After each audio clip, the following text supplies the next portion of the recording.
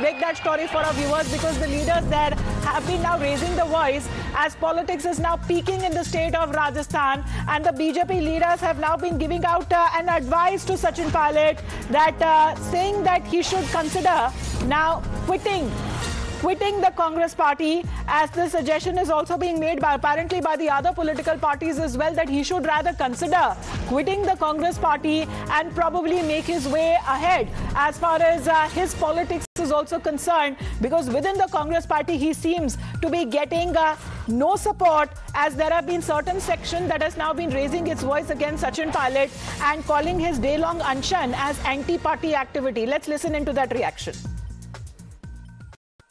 this charade of um, um, a fast unto whatever uh, against Shri Vasundharaji's uh, government for apparent corruption that has never even cropped up is just a figment of Mr. Sachin Pilot's imagination.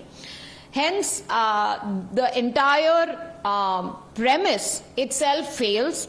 And the fact remains that Mr. Sachin Pilot should once and for all decide whether he wants to continue to be in a beleaguered, uh, confused, and irrelevant party such as the Congress, or he wants a fresh start and he wants his ideals to be met.